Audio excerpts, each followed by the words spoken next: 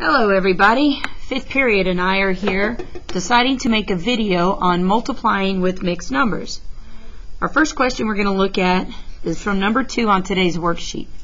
5 and 1 fourth times 4 and 2 thirds.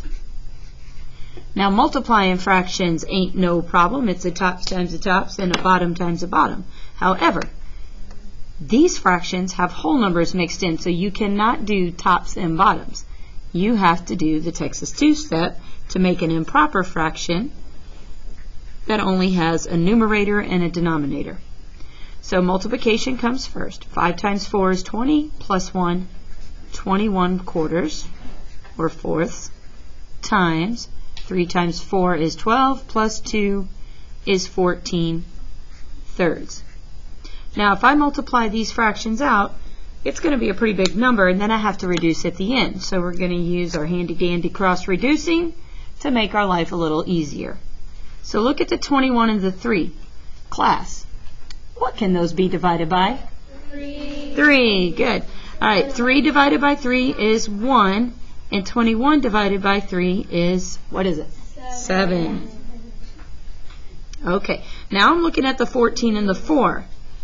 They can both be divided by, what do y'all think? 2. Excellent.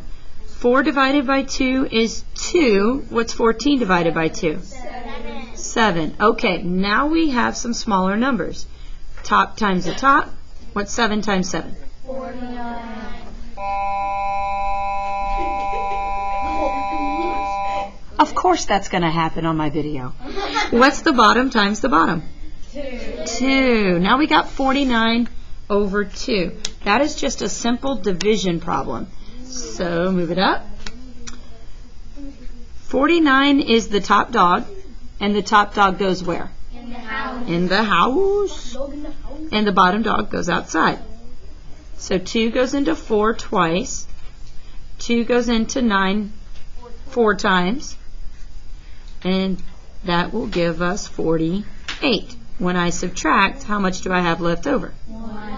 1. Take that 1, put it over your outside 2, and that is your fraction. Final answer, 24 and 1 half. Put a little bubble around it, make it look girly. Put some lightning in it, make it look manly. Hope this helps. Have a great day.